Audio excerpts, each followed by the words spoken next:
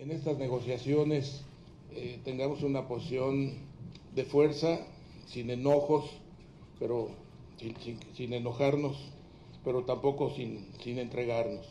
Es una negociación ardua, difícil. Afortunadamente sabemos qué, qué es, cuáles son las intenciones eh, por parte de, de- de Estados Unidos y su gobierno.